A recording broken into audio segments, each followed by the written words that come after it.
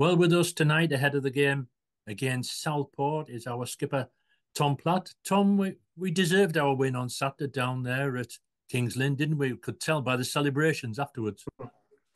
Yeah, definitely. I think so, yeah. Um, on the balance of it, uh, I think we, we defended really well. We were really solid. Um, that obviously gave us a platform to go on and win it. And uh, yeah, uh, Mitch came on and scored a brilliant goal. Good through ball by Cam. Uh, and yeah, he finished it off excellent. So like you say, it was a massive three points, and I think, as you can tell by the celebrations, yeah, obviously it meant a lot to us.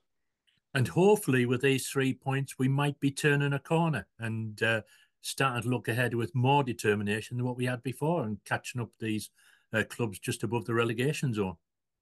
Yeah, absolutely. Yeah, um, obviously it's only three points, but uh, yeah, it's a good start, and we just need to build on that now. Um, keep uh, similar performance. Like I say, we were really solid. I think that'll be really important to give us that chance to go on and win games. Um, and yeah, hopefully we can build on it.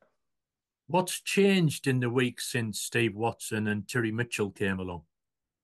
Um, a few things really. Yeah, like obviously we've only had a couple of training sessions, so it's we've not had a lot of time uh, to work on things. But I think uh, we did some work the other night on sort of like the back four and um, the basics of obviously like defending and uh, working defensively as a team, and I think that really showed on Saturday. So that's definitely um, a, a, big part of what we did in the couple of training sessions we had, uh, and then obviously done some finishing work, and thankfully that seemed to pay off with Mitch as well. So um, yeah, like I say, we've not had a lot of time to work, but I think a couple of things that we have worked on um, came out on Saturday really. It looked as well as if there was a strong team spirit and togetherness there on Saturday. Yeah, definitely. Yeah, um, we've got a great set of lads. I think we all get on really well.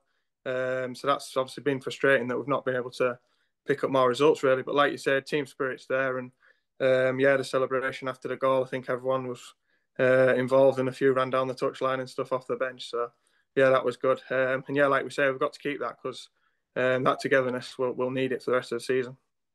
As you say, it was great to keep a clean sheet, wasn't it? And uh, I think Scott Barrow might have been a factor in that. Yeah, absolutely. Yeah, I think uh, the full back four were, were brilliant, and obviously Tommy in the nets as well.